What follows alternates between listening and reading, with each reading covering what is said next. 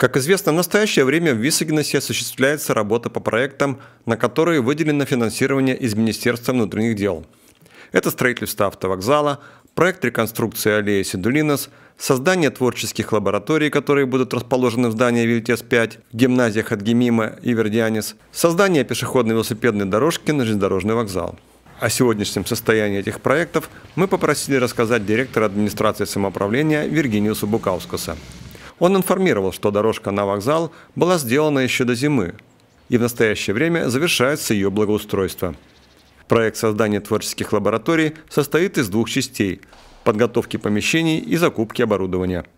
Что касается э, создания творческих лабораторий, основной на Вильтес-5, все работы строительные, подрядные есть выполнены, изданы что Вильтес-5, что Гемима, что э, Вердянис, но сегодня и мы выполняем вторую часть э, этих, э, этого проекта, будем говорить, как имея в виду, это закупка самого оборудования. Вот здесь есть проблемы, может попали в тот период, когда и COVID и так далее. Сегодня, э, на сегодняшний день проводим третий раз закупку, третий раз закупку.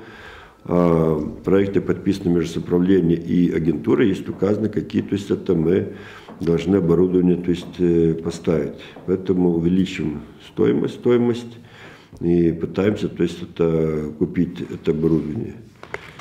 Надеюсь, надеюсь, э, что 23 вот июня, июня есть предусмотрен то есть, скрытие конвертов.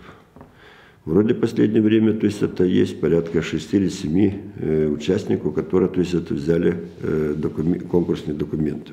Напомним, что творческими мастерскими смогут пользоваться все висагинцы.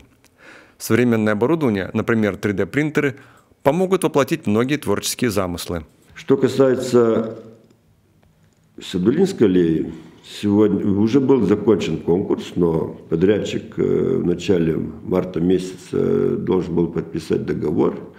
Он отказался. За отказ от подписания договора победитель конкурса должен был заплатить неустойку.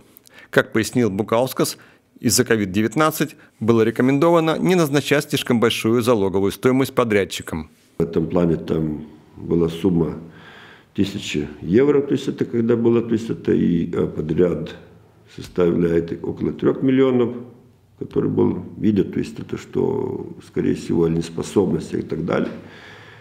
Но отказался подписать договор. Сегодня ведем спор, забрать или нет э, у страховой компании, страховой компании залог. Но сегодня страховая компания, когда запросили выплатить залог, написали, что условия типа форс-мажора. Ну, я говорю, будем видеть. Конечно, такая сумма даже жалко времени работников для ведения судебных тяжб. Новый конкурс не состоялся, сегодня идет закупка. Закупка, опять имеем уже скрытые, скрытые конверты. Идет сегодня проверка возможного победителя. Сегодня есть два подрядчика, которые в этом плане соответствуют первичным условиям конкурса. С объявления победителя 15 дней на подписание, то есть это договор. Я думаю, что в этом году начнем. Говоря о строительстве автовокзала, директор администрации отметил, что наряду с подготовительными работами, которые уже начаты, подрядчик ведет работу по закупке материалов. Строительство автовокзала должно быть закончено до 10 февраля 2023 года.